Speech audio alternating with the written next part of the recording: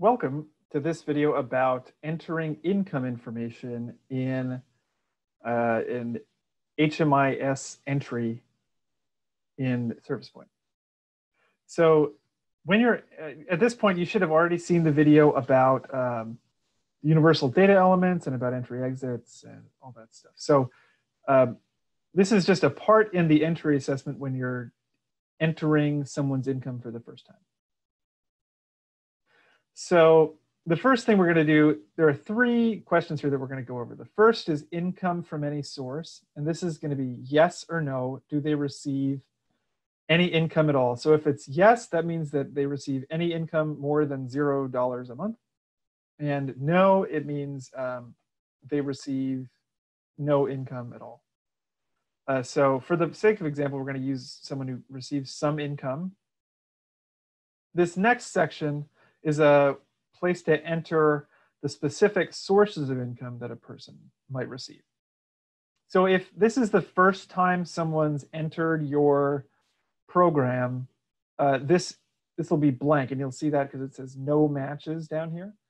That means that there's been no information entered um, about their income in the past. If that's the case, we're going to uh, click this HUD verification button in the top right-hand corner of the monthly income box. And that's going to um, open up this HUD verification pop-up. So at the top of this pop-up box, you'll see this select the receiving income source value for all incomplete source of income records. Uh, I would suggest clicking no at the top here. So by default, everything is set to incomplete because you haven't asked yes or no, you know, whether or not someone receives each source of income. So, um, and we, we need to have a, either a yes or no answer to all of these types of income. So what you'll do, now that we have no answers for all the different types of income, uh, we're going to select yes to the type of income that the person does receive. So you'll just click on the radio button next to that row. And once you do that, you'll see another pop-up uh, that asks for the monthly amount of that income.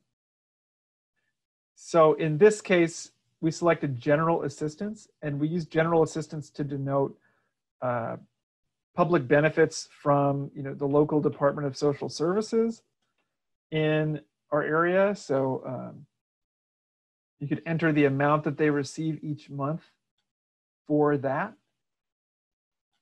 You can leave the if other please specify section blank. This is just for like internal notes. Receiving income source, since you selected yes in the HUD verification box, this is gonna say yes. And then start date is going to go automatically to the, the date that the person entered the program. So you don't need to change the start date. End date uh, should be left blank if you're entering income information uh, for this person.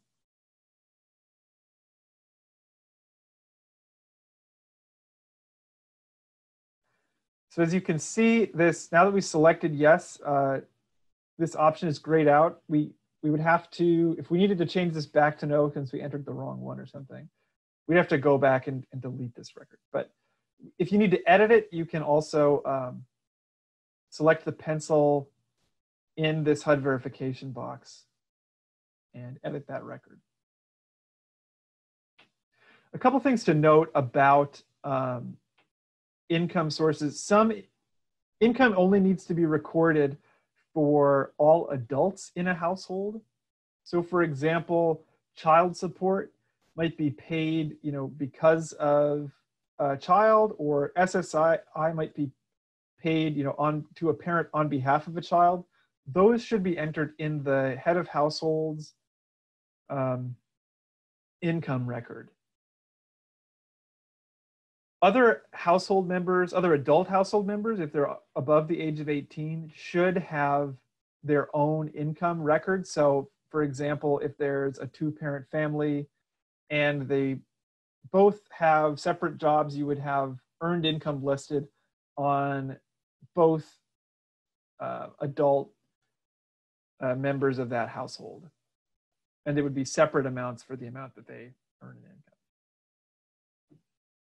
So once we have a yes or no to all 15 records in this uh, HUD verification box, we're going to click Save and Exit. That's going to bring us back to the assessment page. You'll notice that now, next to HUD verification, where before it was this angry red triangle in the top right hand of the box, it's now a happy green check mark telling us that yes, we entered a yes or no to all 15 uh, different sources of income that HUD wants us to ask about. And then lastly, if this is the first time you're entering income, we're going to put something into the total monthly income box that's below the income subassessment. So here, this person just had one source of income and that equaled $386. So that's what we're gonna put in the total monthly income box. Uh, if they had another source of income, we would add those two sources of income up and put the total in total monthly income. Okay, so this, we just described what would happen if you're entering income for someone for the first time in Service Point. This is not a typical situation because a lot of the time people will have, might have been in a program previously and what you see the first time you look at their income record is this uh, is a whole bunch of income records that are already there. So you asked a question, you know, at intake, what income do you receive right now? And they told you what income they receive. So what you have to do is look through, um, we should be doing, if there's already information here, is verifying that the information recorded in Service Point is correct at the time they entered your program. So say, for exa example, um, our head of household right now, Angela Smith, she is no longer receiving general assistance. She's now receiving $800 in SSI. Uh, I know in our example, the dates won't line up because um, because we're we just entered that for the date that we're entering her into the program, um, but bear with me. So if we had to uh, end an old income record that's no longer true. So say, you know, we have this record here that says 386 general assistance, but she no longer gets this 386 in general assistance. We're gonna select the pencil next to that row and we're gonna enter an end date for this record. So again, like I said, um, the uh, the dates aren't going to line up right here, but in real life, this will be a date that's further in the past. So it'll be, this end date should be one day before the date that they entered into the program. And you also have to end and edit incorrect records if the amounts are different. So for example, if a client has earned income and it says that they receive $500 a month in earned income, but at the intake interview, you know, they showed you their pay stubs. They now receive $1,000 a month in earned income. What you're going to do is also end that $500 a month earned income record and add a new record that says $1,000 a month. Here, we're going to change both the amount and the source. So we're going to end this 386 general assistance record, and then we're going to click Save and Add Another once we have the end date entered. And then this is going to give us a totally new income box. We're going to select this person now receives SSI benefits of $808 a month. We're going to change source of income to SSI because that's what they're receiving. And then we're going to select yes to receiving income source because this is just saying uh, that this is a income source that they are receiving. Start date is going to be the date that they that you assess them uh, as receiving this income. It doesn't have to be the date that they first started receiving SSI. This is the date. If this is the entry into the program, this is the date that they entered the program.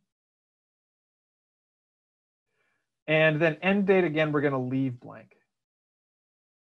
So I'm going to click save, and this is going to show me that I now have this record of SSI for $808 a month that started on March 31st.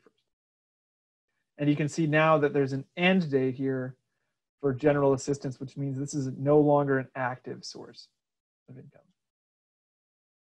Once you've edited their individual records, then you're going to go to their total monthly income amount and edit that. So we're going to change this now to 808 because that's the total amount that they're receiving. So that's all for entering and editing income in Service Point for someone's entry assessment. Thanks.